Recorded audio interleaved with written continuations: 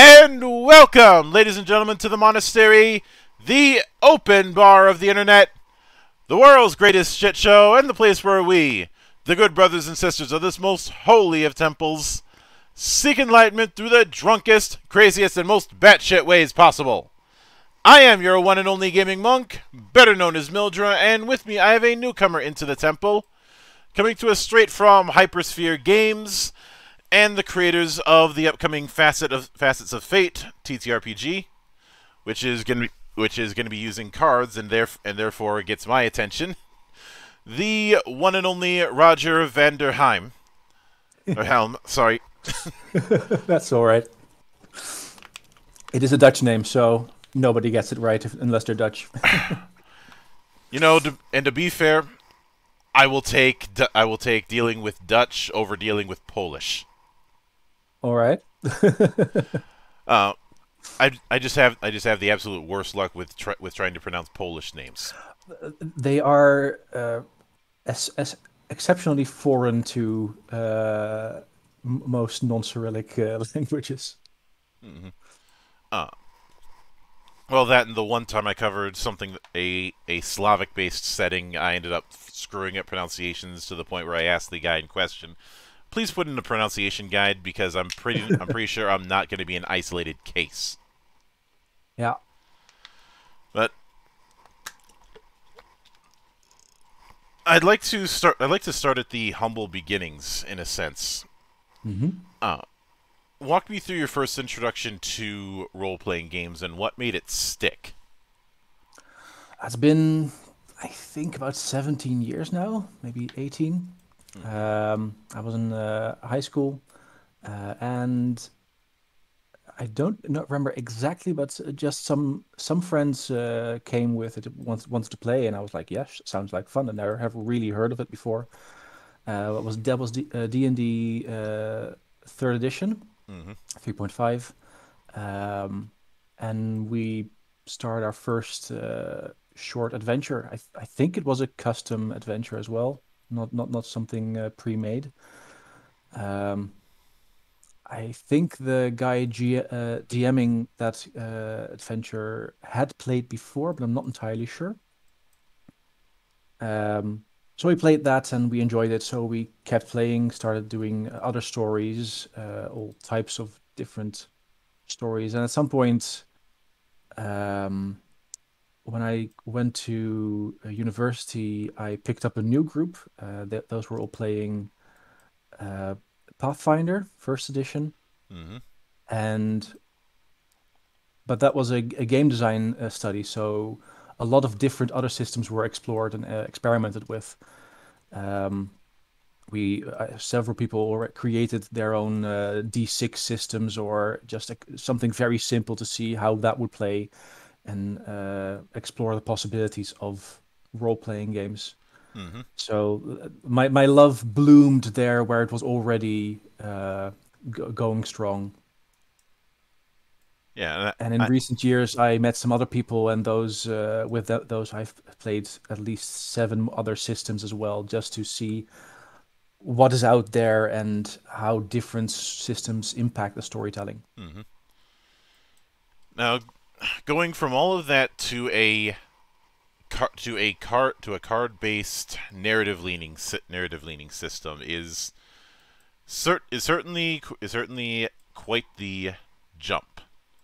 Yeah, absolutely. Um, so, I suppose I suppose one of the first things I, I want to ask on that is how did the idea for facets of facets of fate start and what made you want to go with a card based system more than anything else. So we're a team of four people who have all played various uh, RPGs in uh, to, to, different degrees, um, and all of us felt uh, that the, the, most common systems like D and D and Pathfinder were um, th- they were e- easily accessible, but they were lacking in um, consistency within the rules and e- there was still a, a bit of a barrier to play. Uh, we felt certainly for some types of players, um, and we, we we felt we could um, to do better might be a bit. Uh, highfalutin, uh, but more like we thought we could improve upon the ideas that exist or already exist in the RPG world. So we uh, went about seeing, okay, what do we want this system to be? What are our design philosophies to start out with? And one of the first things was we wanted to be easy to play and optional to master. So th- there has to be some depth to it, but the depth has to be optional. You can, if you don't want to go into that, you can just still you can still play the game. Mm-hmm. Um, and uh, so we literally at some point went, okay, so how do we determine success or failure for any action that a character wants to do? Um, and we looked at, of course, uh, dice were the the easy solution that everybody is using.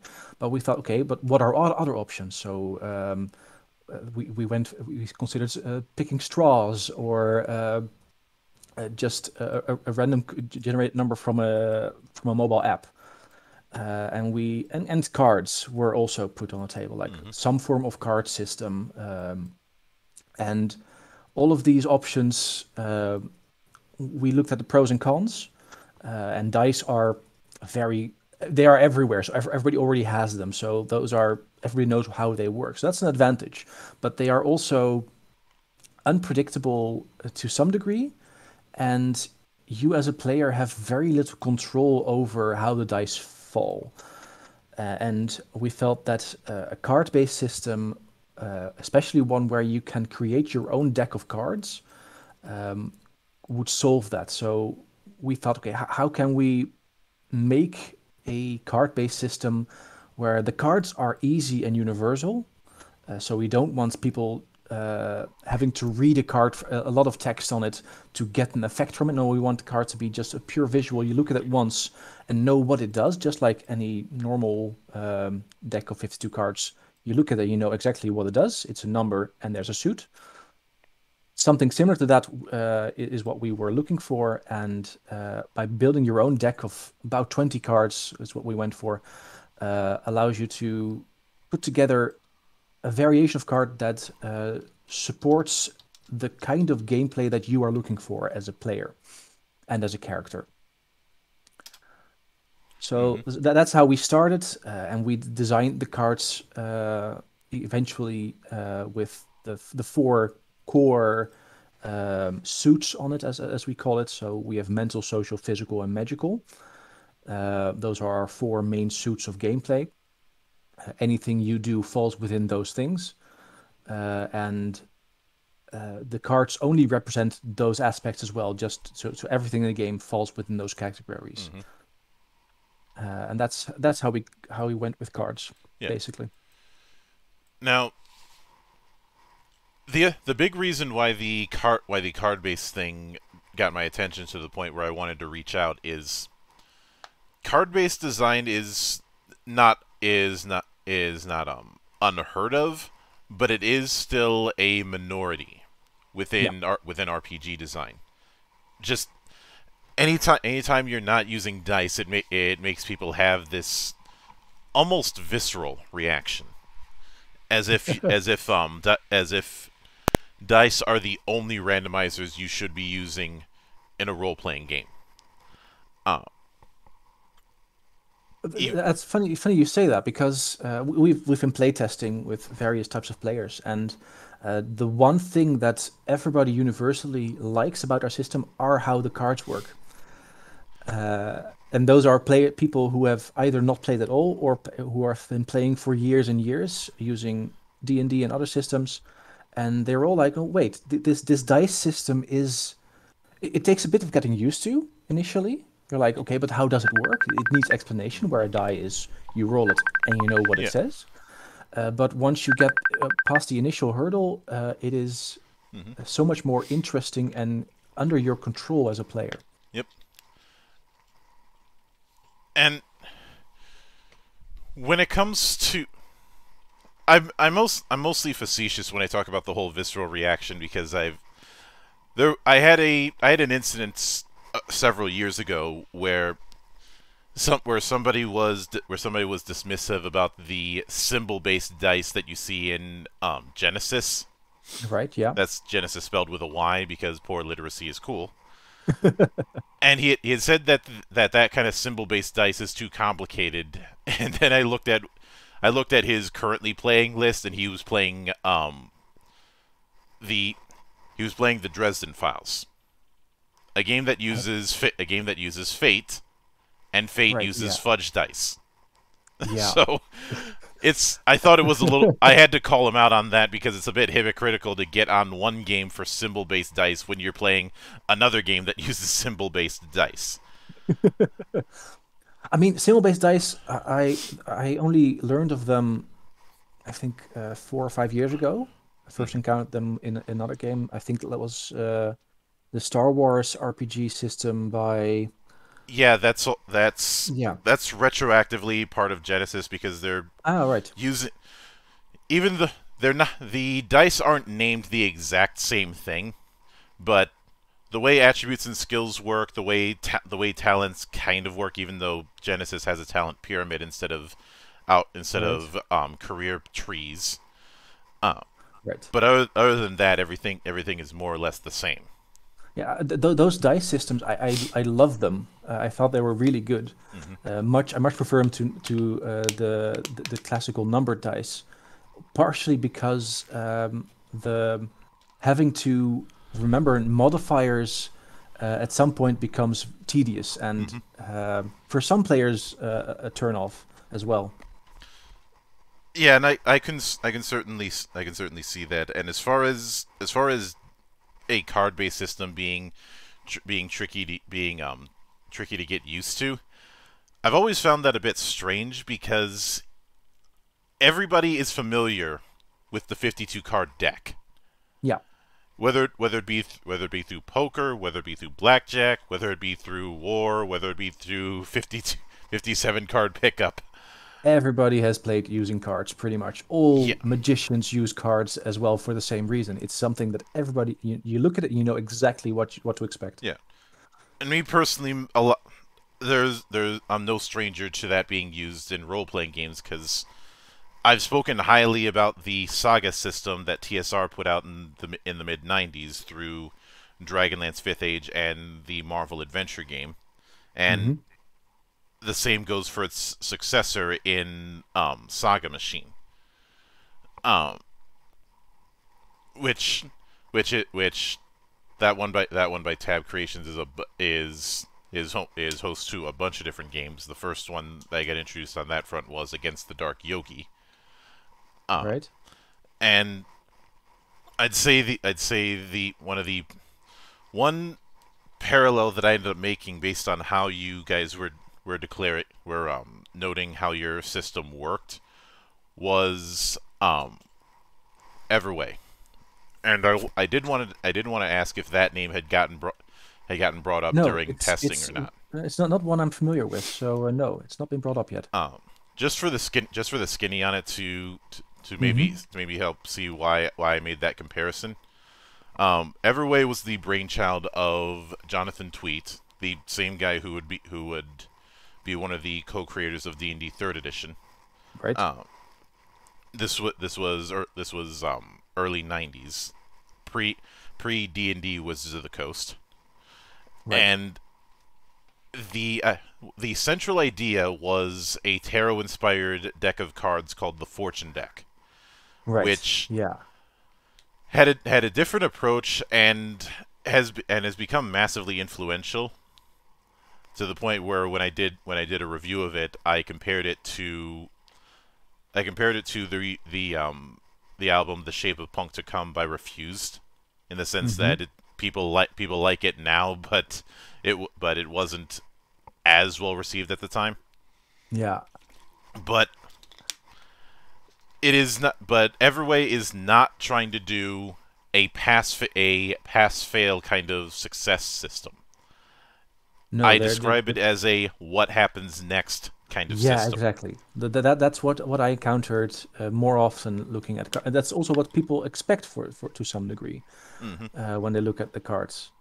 So one of the, the, the, the, the, the, common confusion we got initially was, so I've got a card that says it's a rat on it, so I can now play a rat, right?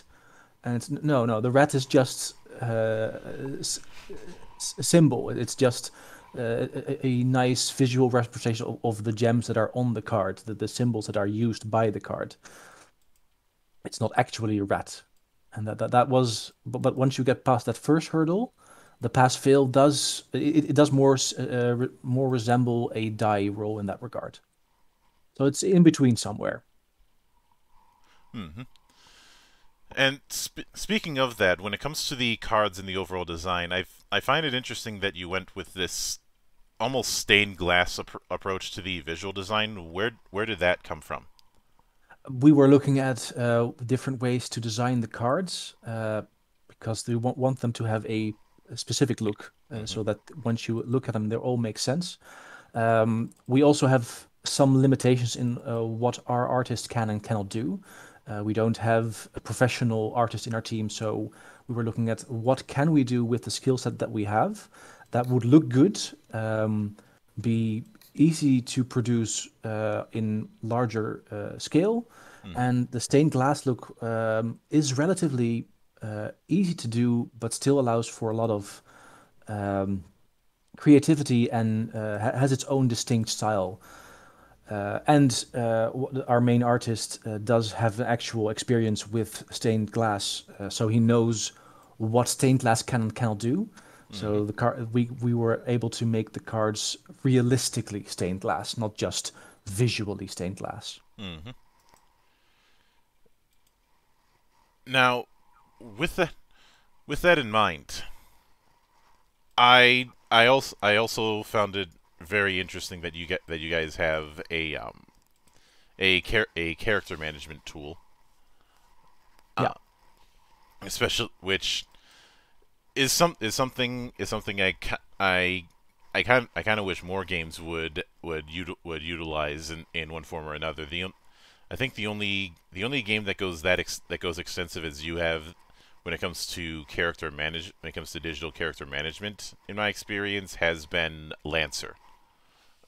Right. Uh, so the, the, the character management tool was a um, initially a necessity because um, we, we were using like uh, writing jotting down notes on a card and then on a piece of paper putting them in a sleeve and using them as a deck of cards, mm-hmm. uh, which was functional but not ideal.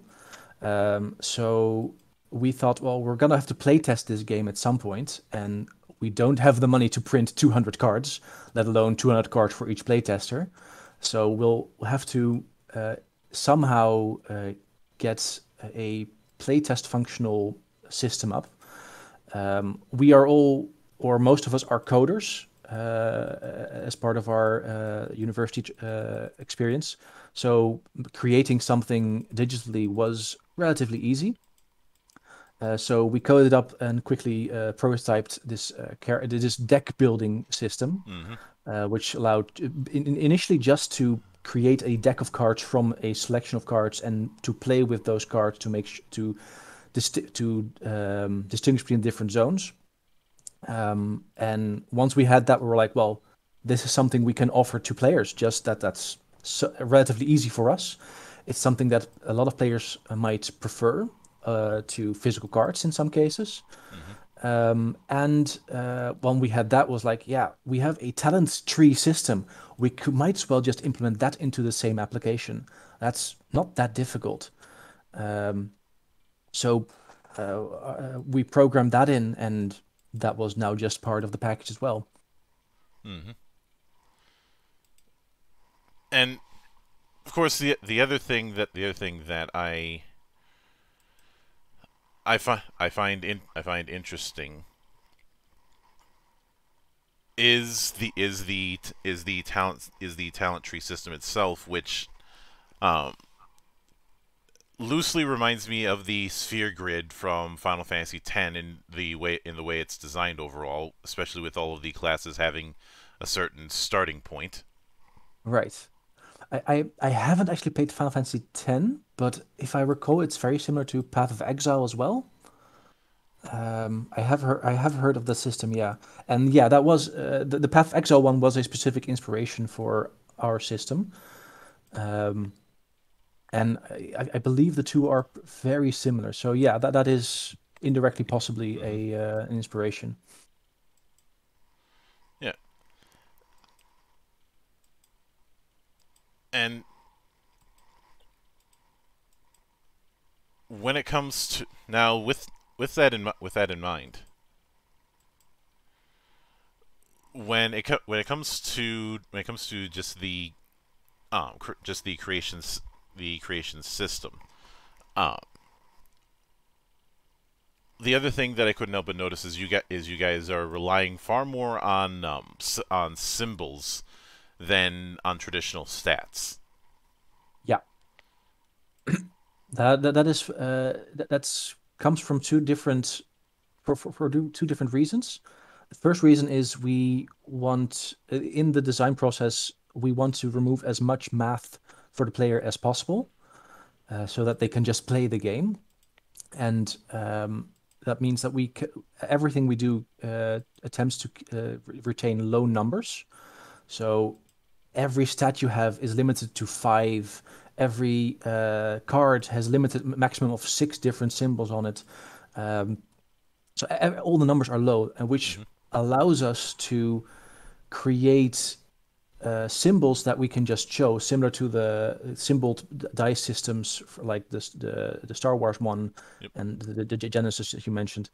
Um, so that, that that allows us to do that.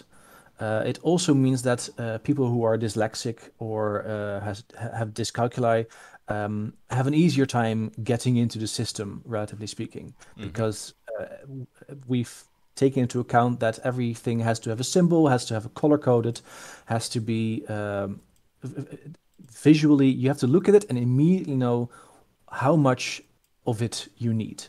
Mm-hmm. Um, so that is uh, the, the design philosophy of easy to easy to learn. Everything is just you look at it and you know immediately what it's supposed to represent. Yeah, and even and even with that, a lot of it's still a lot of it is still relying on on um, five five five pillars that you get that you guys have. Yeah. Which, if I, if I recall correctly, are um, mental, physical, social, magical, and wealth. Yeah, um, absolutely. Now, give, given that those are are the fi- are the five basic stats, how does how does that play out with both the deck and with and with the talent system. Right. So uh, every uh, every character, every player character at least, uh, has those five stats with a minimum value of one, which allows us to always assume that you have at least one. Um, and uh, th- th- there is a distinction between magic and wealth and the other three. So uh, physical, mental, social are the core aptitudes, as we call them.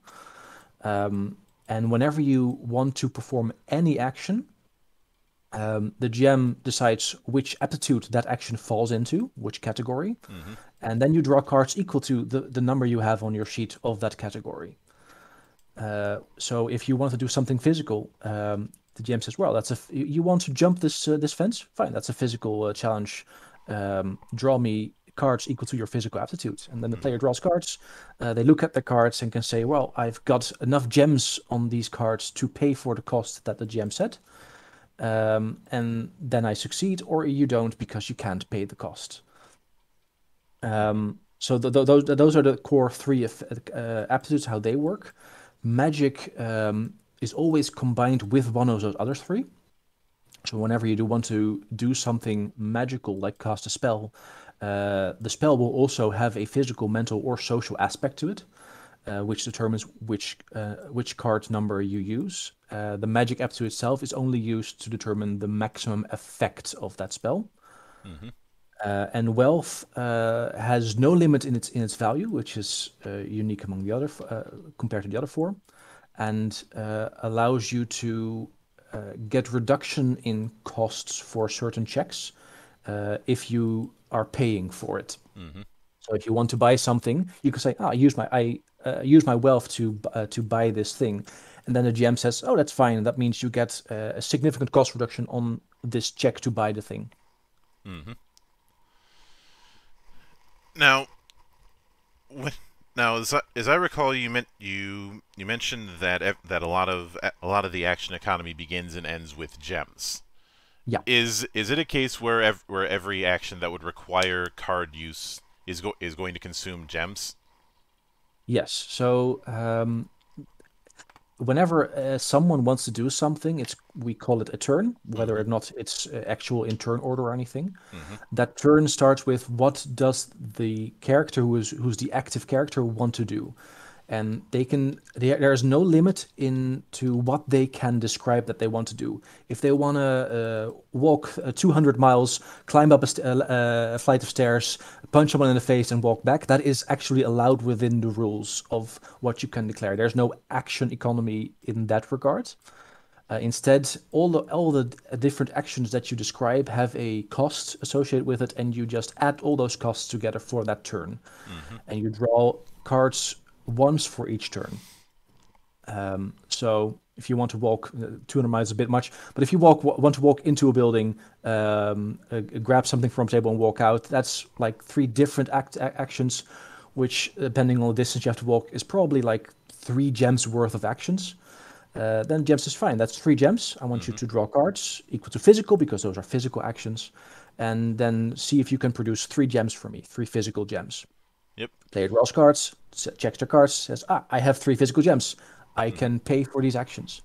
Yeah. And that way, the action economy is uh, limited to how good you are at particular activities, not so much uh, an arbitrary number of actions or distance Yeah. that you can walk. which is some is something that uh, is something that was in the back of my mind because when I when I heard about the whole thing with gems, what instantly came to mind was the gem system in Marvel Universe and how uh by have by having by having every now granted Marvel Universe is a diceless game Right. meaning and meaning no randomizer period but everything revolving around red and white Right, yeah. gems and Yeah. whenever yeah. there's a whenever there's a game that has a limited resource a th- a thing that's always in the back of my mind is what is whether or not the game will be subject to what I call the rainy day paradox or the 99 megalixirs um, paradox. You know the the whole thing of I can't I can't use I can't use one of my 99 megalixirs. What if I need it for later? Yeah. Well, that, that, we solve that by saying that the, the gems you have disappear at the end of your turn, regardless of what you do. So saving them up is pointless. Mhm. Um, the, there is a certain degree where you can keep cards in your hand until your next turn. So if you want to do take multiple turns after each other, that's possible. You can draw cards every time for those different actions. So there's and there's an unlimited amount of times that you can draw new cards. There's we don't put limits on that. hmm There's just uh, there are consequences for failure, uh, which is uh, baked into the core rule uh, that when you want to do something uh, and the GM says, "Well, that's really there, there are no consequences for failing that," so you just succeed. You don't have to worry about paying gems for it. You don't even get to draw cards for it. You just do it.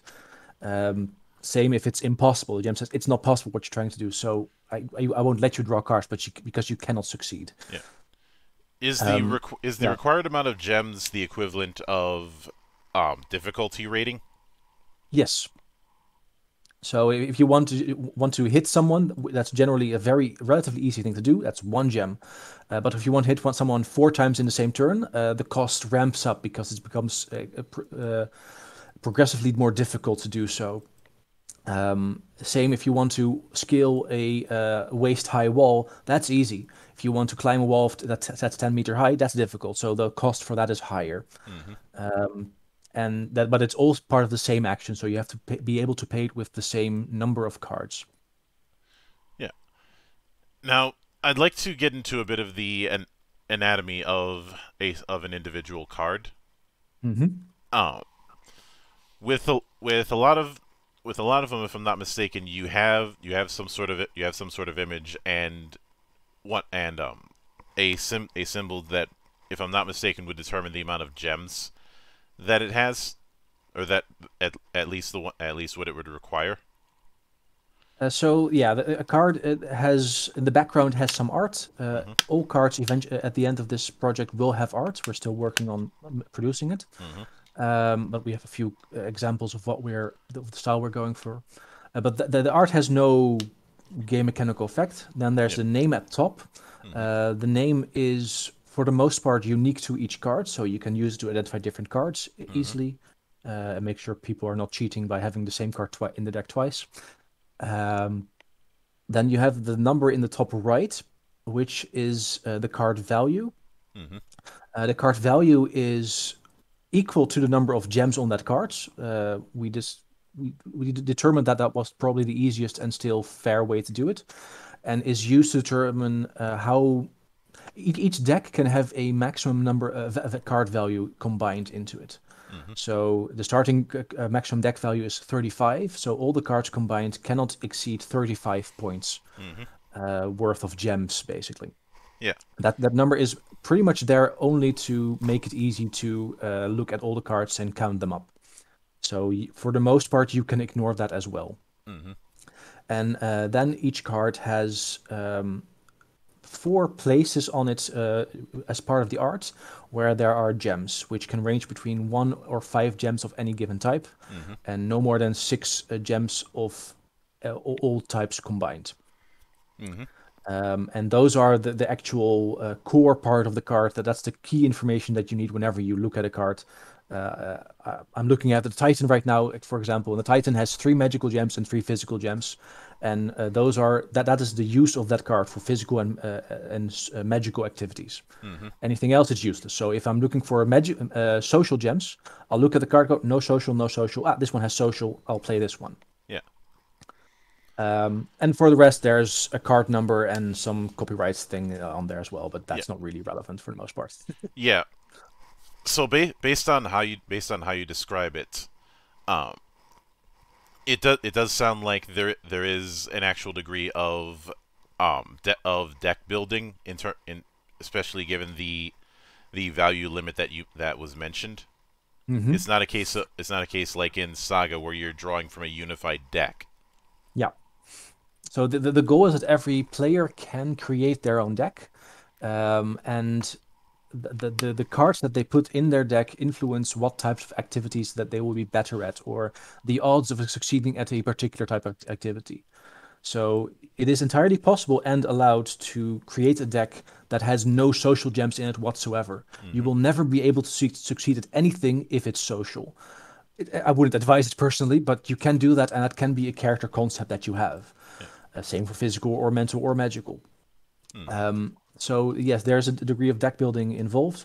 Um, it is ex- exceptionally flex- flexible. You ca- you are allowed to modify your deck at any point between sessions. Uh, the only re- restriction is during a session you cannot change your deck. That means that if you are expecting a particular type of session, you might go like, all right, so we're doing a uh, mystery uh, session next time. I might want to put some extra mental gems in my deck, and that's allowed because it represents uh, what your character is expecting, is uh, mentally prepared for, or e- energy-wise prepared for. Mhm. And the GM can surprise you and screw you over uh, as a result if, uh, if if they're being mean. Yeah. Now, with given that it's it definitely sounds like you are actively discouraging people from people from hyper focusing in one particular I guess suit I guess suit is the best word I can I can use for the Yeah, time no, being. suits is exactly the word we use as well. Uh, but it's it sounds that's not to say you want people to be jack of all trades, but definitely jack of several trades instead instead of focusing all in all in one. we want people to um it's not no it, I, I would say it's not entirely accurate um the we wouldn't advise removing e- some uh, everything of one type from your deck because you will, will still want to be able to at least have a chance of succeeding in some cases. And you never know what kinds of unexpected costs might come your way. Uh, there are uh, we, we do encourage cooperative play uh, and teamwork between different characters. So we um, we we heavily uh, f- um, reward gameplay where one player, where two different players have very different stats that complement each other, so that uh, one person's weakness is another person's strength. Um, so the, the, the, the- the deck building promotes that as well. Um, it is absolutely a viable option to hyper focus, and uh, during as we have seen that work very well because you as a player have a lot of control over what types of costs you you will be paying during gameplay because you are saying what you want to do, and there is there are expectations of what types of gems you will need to do that in pretty much most situations. Mm-hmm. Um, there we have because we everybody has at least one in every uh, aptitude. Uh, we guarantee that you will always be able to draw at least one card when you want to do something, Mm-hmm. and uh, as long as your deck has at least one card with a given type of gem on it, you will have at least at least a five percent chance of succeeding, probably. Yeah. Now, I want to shift into the into um talents. Yeah. So obviously there is the there is the there is the talent um bo- there is the talent board on the Kickstarter page. Mm-hmm. Uh, and as as mentioned before, it's clear it's clear that certain archetypes are going to have certain um start certain starting points. But Mhm. I suppose the the first thing to, the first thing to note is the three way the three way the three way divide between the three colors. I'm guessing that I'm guessing that that is um fit that that is that that is your I get I guess for the lack of a better term the warrior rogue mage um s- splitting off even if it's not exactly that word for word. Oh, we have uh, in total four different talent trees Mhm. uh, in the rules, and each talent tree represents uh, one of the four uh, main aptitudes. So physical, social, mental, magical. Mhm. Um, those are there is no um, overlap between those. So uh, uh, I, there might be some confusion with the example we've shown on our Kickstarter. Um, but the idea is that there's there's four boards and every uh, tree has its uh, has different starting points for all of the classes. Mhm. Uh, the we have seven classes and each board has four starting points where one starting point represents the other classes that are not particularly well versed in that particular talent tree. Mhm. Uh, they have access, but it's not the main focus of what they have uh, an aptitude for, uh, a predilection towards. Uh, so if you have the physical talent tree, for example, then there's uh, the athlete represents the physical pinnacle of all the classes. So it has the central starting point. It can go anywhere in the physical tree with uh, impunity. It can just go like, I want to go for this part and this talent, even though they're on opposite sides of the boards. I can get to both pretty easily. Uh, while the captain um, is divided between social and physical in its primary uh, aspects. So it has uh, two special starting points in each of those trees. Mhm. Uh, and that way, uh, each of the classes has uh, talents that are near it and talents that are further away. Um, me, which result in if you want to be someone who's very good in uh, close up quarters fighting, then an athlete or a captain will get you there quicker than an adventurer or a scholar would. Mhm. Uh, and the same goes for different towns elsewhere where different classes have a more easy access to. But in the end, every class can get anywhere. Um, any talent is accessible for any class. Uh, there is no restriction on that. Yeah. And with now with that with that in mind, when it comes to when it comes to gain when it comes to gaining individual ta- individual talents, I know that I know that you guys mentioned wanting to wanting to cut down on math, but in the in the full book will will it be listed out as far as what you're getting from get from acquiring and acquiring each talent. Yeah. So we have uh, the, the bulk of the rules text uh, at this point. It consists of the individual talents and their effects. Mhm. Um, and the idea is that you don't need to know every talent. You only need to know the talents that you have, um, and uh, you pick them as you want from the board. hmm Now that I also see I also see a whole lot of the ge- of the gem symbols. Um, Right. is that is now from what I from what I assume just just messing around with the character manager, the gem is the what is the wealth attribute. Is that the case on the on the talent tree on the way it is on the talent it tree? is not the uh, in the uh, application the the wealth uh, ap- aptitude uh, symbol is still uh, a temporary uh, symbol pro- possibly. Mhm. Uh, we're still deciding that. The gems on the talent trees uh, represent an increase to your maximum deck value. So you start out with 35, and every mm-hmm. time you buy one of those blue gems, uh, you increase it by one, uh, which means eventually you can have a deck value that's over 80 or 90 uh, combined card value, mm-hmm. which allows you to say, no, I don't need unique effects. I just want more deck value. I want to increase my deck value, and that is possible. Yeah. Now, and they function as connection connection points between other talents.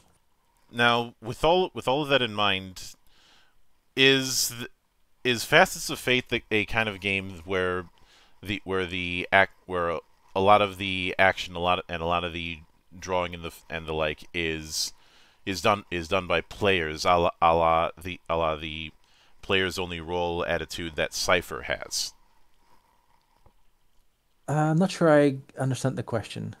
Uh, what I'm, ma- what I'm mainly asking is that is it's it sounds like it, it sounds like any sort of any sort of card use is going to be on the player's side, not the GM side. Yes, absolutely, yes. So in fact, the GM does not have a deck of cards mm-hmm. uh, at all, and um, the the design that we went for is that whenever an NPC wants to do something, um, the GM throws up a cost that players can pay if they want to avoid that effect. So if uh, an enemy wants to attack a player character with a sword or whatever, uh, the G- DM says, "All right, uh, you're being attacked. If you don't want to get hit, you will have to pay this uh, cost here." And uh, the player can say, "Well, I, I, I have actually a, a, card in my hand that allows me to pay that cost, so I'll pay that cost. I won't get hit this time." Mm-hmm. So there's some uh, players will have to. The cards that they draw are used both offensively and defensively. Yeah. Now, with when you meant when you mentioned defense, I'm get I'm guessing I'm guessing that'd be a case of if some if somebody had to defend against a, a an attack from a from a sword, the thing the thing that the GM would say would say on that front is the difficulty of it, i.e., how many gems that attack yes. is. Yes. Uh, now, now with all with all that in with all that in mind, uh, I think the the there's a few there's a few things that were on the site that I did want that I did want to ask about. Chief mm-hmm. among them is what's referred to as the fate clock. Ah, yes. Uh, the fate clock is our uh, custom form of initiative management. Mm-hmm. So, um, like like every part of the design process, we looked at uh, well, at some point, players and GMs might want to have some form of initiative management uh, because d- determining in which order people get to declare their actions can be exceptionally relevant uh, in fast-paced scenarios. Um, so we looked at various different ways of doing that. The standard way of uh, like, like like that D and D uses, where you, everybody rolls and we see randomly in which order people go. Um, we looked at system like Popcorn Initiative, as I'm uh, as I'm as I know it, which is mm-hmm. uh, one player goes and gives the turn to the next character, whether that be a GM character or a player character, and so forth until everybody has had a turn. Mm-hmm. And um, eventually, uh, we wanted it to be we don't we didn't want players to draw cards to see who goes first because that could skew it towards particular types of optimizing which we didn't want to be present in our game. Uh, and we came up with the fate clock, which is a literal clock uh, with six wedges, six uh, points in time, uh, and it just goes round and round, uh, one wedge at a time, uh, giving the turn to the next character. Mm-hmm and uh, players and GM characters can just uh, place themselves on that clock uh, pretty much freely. So they can move it about uh, and see, I want to take a turn with that other character over there. When they are taking a turn, I also want to take a turn. Mm-hmm. Uh, allowing uh, both GM characters and player characters to take simultaneous turns. If you want to help another character, assist them as, as our system calls it, then you just place your character in a specific zone dedicated to assisting uh, of the turn of another character, and you go, all right, whenever that player's turn comes around, I am there to assist them in whatever they're gonna do. Mm-hmm. Um, so the fate clock allows uh, people to visually see when everybody's turn is, keep track of what is going on, uh, removes the need of having to uh, keep track of delays and uh, changes in order because it's just if some you turn the dial and whoever is on that turn is the uh, is the character whose turn it is. Mm-hmm. Um, and since every wedge has room for both uh, player characters and uh, GM characters, there is no fighting between. Uh, there is no conflict between the GM and the players for wh- who gets to turn first between GM and player characters, mm-hmm. because they can go simultaneously. That ma- that certainly makes sense for, for me. Now, the other the other the other action the other um, item that I wanted to go over is the approach plan. Yeah.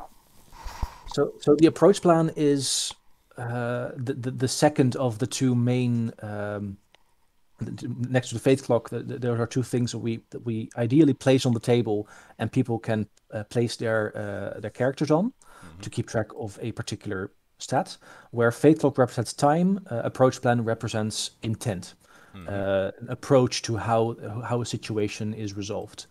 Um, the, the, approaches there are twelve approaches uh, divided among the three uh, main aptitudes equally. So there's five mental, five social, five physical, with overlap for three of them.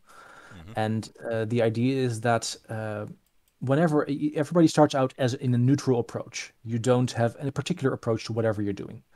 Um, and this confers neither benefits nor penalties to what you're doing. It's just you're doing what you do. You don't have you can ignore the approach plan completely. However, a character can say, "Well, actually, I want to go to an aggressive approach um, because I think that if I'm a, I, I want to approach this situation aggressively." Um, and they can take an action to go to the aggressive approach, and uh, they remain there as long as they want. And as long as they're taking an aggressive approach, whenever they are doing something that would benefit from being aggressive, like intimidating someone or mm-hmm. uh, trying to punch someone real hard, uh, then uh, the gem is uh, the, the, player can ask, "Can I get some? Uh, can I get some? What's the word? Um, make my action cheaper mm-hmm. because I'm taking the aggressive approach." And the GM can say, "Yeah, sure, that's fine. You uh, your action is now one gem cheaper, and you can get that every turn as long as you're taking the aggressive approach and doing aggressive actions. Mm-hmm. As a drawback, we also say that if you're doing something that would be hindered by being aggressive, like trying to sweet talk someone or uh, think something through uh, calmly and collectedly, uh, then the GM can say, "No, wait, uh, i am making that more difficult for you, so you have to pay an additional gem uh, on your action if you want to do that." Mm-hmm. And this way, players can differentiate uh, how they approach a particular situation. GM characters can do the same, can also get uh, advantages from taking particular approaches. Mm-hmm. Uh, we have talents that interact directly with particular approaches. So there's a talent, the talent that says, well, while you're taking an aggressive approach, you can do this unique, uh, get, get this unique benefit. Mm-hmm. Uh, and th- that way, all approaches are represented in all the t- different talent trees uh, uh, in equal uh, measure. And finally, the approach plan is also used as a unique uh, mechanic in resolving conflicts. Conflicts being the overarching term for combat, uh, but also for social and mental situations. Mm-hmm. Um, so whenever you're in a conflict, um, the the GM may say, "Well, you can resolve this conflict by defeating everybody that is opposing you. That's the the straightforward solution but that might be more difficult than you uh, than you might expect because you know people you're fighting might be stronger than you. That's mm-hmm. possible. Mm-hmm. But GM can say, well, there is a, uh, there's a special uh, win condition for this conflict. If you can gain control of this conflict in both an aggressive and a, let's say, instinctive way, then um, then you win the conflict even if there are still enemies standing that mm. re- representing that you have so much control over the situation that even though the enemies are still able to fight back, they have no no chance of winning anymore. Mm-hmm. Uh, and so the approach plan is used as a win alternate win condition system. Mm-hmm. Now, with the, with all that with all that in mind, uh, when you when you have a when you have a game that can that can go in that many in so many directions like that a a question that a question that always comes up to me is analysis paralysis. And do you have plans in the core book to get to give some guidance? I guess ar- I guess archetypes would be the best word for me to use. Uh, so when it comes to character creation, we have the play ready avatars, which is a set of seven of one of each class uh, characters that um, have a predetermined set of aptitudes, talents, and even a deck that you can use if you want. Mm-hmm. Um, but beyond that, during play, um, because every character has particular talents um, that make them especially good at certain types of activities and situations, um, the paralysis, the, the, the choice paralysis should be reduced uh, somewhat, because you, uh, out of all the options that you have, some will be for you objectively better. Mm-hmm. Uh, simply because you are geared towards a particular solution to a situation. Um, and aside from that, all of these uh, mechanics, the fate clock, the approach plan, even the talents to some degree, are opt-in. So you can play the game without them if you want. Mm-hmm. Uh, to learn the system is the initial intent, but if if you like that and are content with that, you can just play the game without those things. Mm-hmm. They are not necessary to play the game. They just uh, enrich your options and uh, hopefully the experience. Mm-hmm. And with that in mind, what are you shooting for as far as a page count for the full book? Um, so we're not aiming for a particular number, but we, uh, based on what we are, uh, what we've already written and uh, what we are still writing, um, we expect the core book to have between 200 and 300 pages of text, mm-hmm. including art uh, and index and everything which is a reasonable amount for a for a core book. And yeah, what would you be shooting for as far as a release window? Not a date per se, but a general um, ballpark. So if the uh, Kickstarter is a success, and we're very close, so uh, we uh, we think we we will make it. Uh, then uh, we intend to make sure everybody who uh, th- that the initial copies will be available for everybody in September next year. Um, and as soon as everybody, all the backers have their copy, um, we will be looking into uh, alternate ways of um, spreading uh, the game uh, mm-hmm. to other people who are interested. Yeah, and given the card design, have you guys um, put put some consideration into how you'd ha- have this work with, say, Tabletop Simulator or other virtual tabletops? Um, for Tabletop Simulator, um, I have looked into it. Uh, it is uh, once we have all the cards, it should be relatively easy to do. So that's probably something we will be uh, bringing out, for, free for everyone to use. Um, we still have the application for any other types of table, uh, virtual tabletop, where people can just have their own uh, application running on their PC. Um, and since the GM doesn't have to actually see your cards for the most part, uh, that should be fine. Um, there is, with regards to cheating, that is a risk, you could say.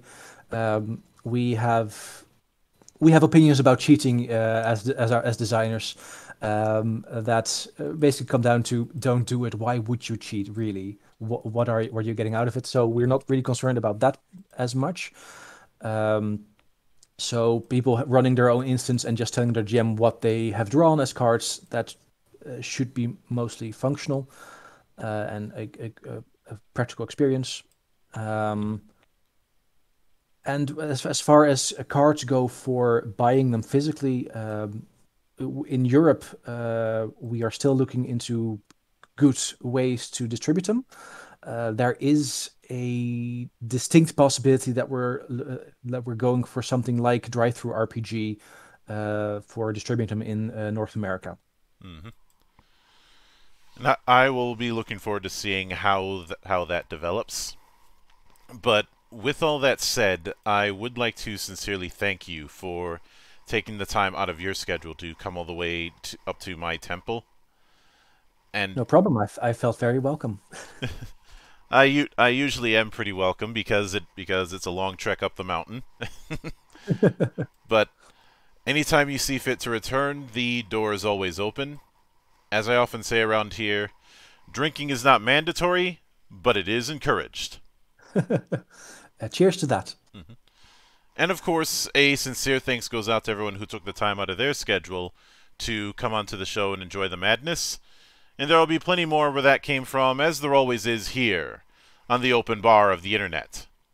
But until then, on behalf of the good brothers present and not present, my name is Mildra. I am your gaming monk. Stay fucking frosty, everybody.